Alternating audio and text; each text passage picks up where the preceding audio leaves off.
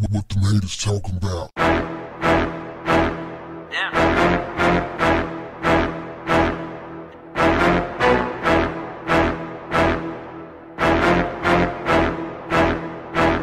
What's up, family? Donald Trump, your president, has people asking questions about his health after an unscheduled doctor's visit over the weekend. The White House is busy trying to quell the rumors, as they always do. Trying to cover those lies is a full time job. Trump has claimed his visit to Walter Reed Medical Center on Saturday was phase one of his yearly physical, despite him having no public events on his schedule for that day and his last physical being only nine months ago. Trump's visit also did not follow protocol for a routine medical exam, and Walter Reed's staff were not given notice about his visit, a source told CNN. A separate source told the news channel Trump's visit was abnormal.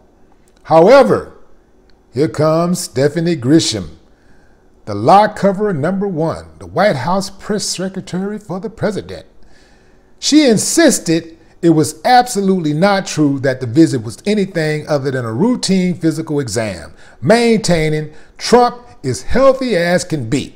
The White House said that Trump's heart rate during his February exam was 70 beats per minute, and his blood pressure was 118.80, which are both healthy levels. They also said that his dosage of a cholesterol lowering drug was reportedly increased after the checkup, and Trump's weight had risen slightly to 243 pounds, pushing him over the line into obesity.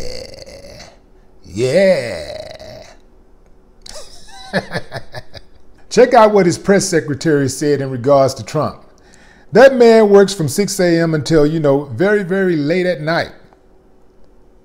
I'd hardly call sitting around watching Fox News and tweeting and glutting off of chicken nuggets and pizza and hamburgers and Snicker bars and cases of Coca Cola working. They said his blood pressure was 118.80. How many people do you know that is watching this video has a blood pressure of 119 and is overweight? I'm not saying they're lying. But then again, I guess I am saying they are lying. They always lie. The hospital just released this statement. Here's an update. They said that due to Trump's tweeting habits, the reflexes and muscles in Trump's thumbs has spread to the rest of his body finally, and he is now an equivalent to the Incredible Hulk.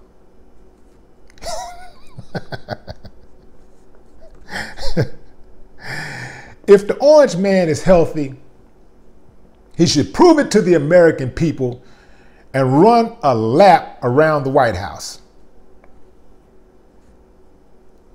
Just one lap.